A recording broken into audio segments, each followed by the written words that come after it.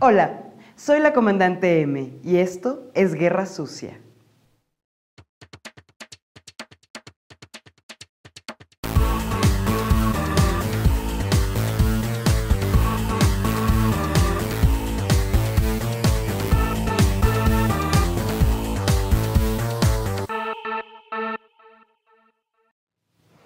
Habíamos escuchado de explotación de recursos, pero que Gómez Urrutia desviara más de 55 millones de dólares del sindicato minero es el colmo. Y peor aún, cuando el tesorito apareció financiando la joyita de campaña de Andrés Manuel.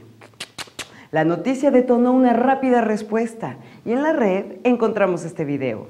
Chécalo. ¿Te acuerdas de los 55 millones de dólares que Napoleón Gómez Urrutia nos robó a los mineros de México? Pues por fin aparecieron, y nada más y nada menos que en la campaña presidencial de Andrés Manuel López Obrador. ¿Cómo se atreve a criticar la corrupción y el financiamiento ilícito cuando es capaz de aliarse con el personaje sindical más oscuro de la historia y robar a los trabajadores mexicanos con tal de llegar al poder? El peje y a la cárcel por ladrones. La gente brilló con su opinión. Estas fueron sus respuestas. Aquí escarbándole la subcomandante J, preparada para preguntar a la gente qué opina sobre los 55 millones de dólares que han desaparecido del sindicato minero y han aparecido apoyando la campaña electoral de López Obrador. ¿Cómo ve usted que desaparecieron 55 millones de dólares del sindicato minero y aparecieron patrocinando la campaña del? Puta, pues qué tranza, ¿no? No que muy amoroso el cabrón. Que lo metan al bote.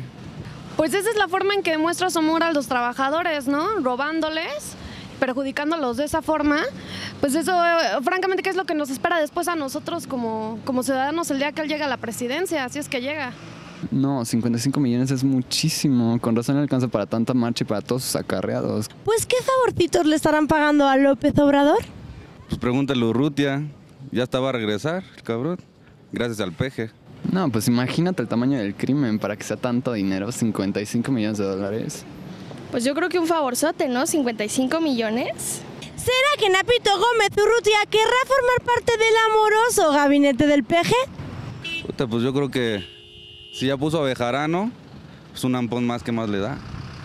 Pues ahora sí que, ¿qué te digo? Dios los hace, ellos se juntan y uno queda en medio.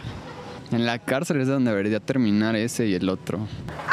¡Ay, pa diamante en bruto que nos está saliendo Andrés Manuel! Ahora que le están saliendo todos sus tesoritos de campaña, no vaya a ser que se le vaya la elección tres metros bajo tierra. Este es el reporte de la subcomandante J.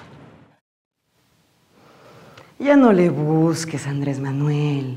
Acuérdate que el que busca, encuentra. Y en esta elección a ti ya te sacaron a relucir el cobre. No lo olvides. Estoy en Twitter y Facebook. Te espero en la próxima. Esto es Guerra Sucia.